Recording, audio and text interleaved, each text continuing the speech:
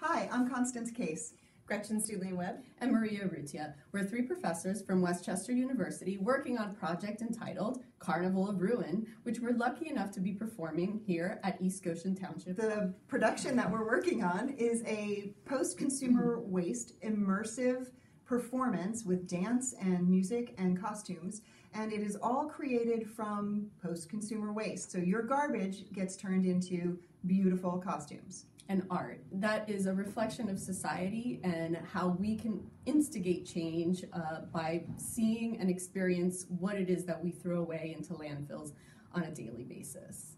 This performance is free to the public for all ages, May 30th. For more information, you can follow us at www.carnivalofruin.com.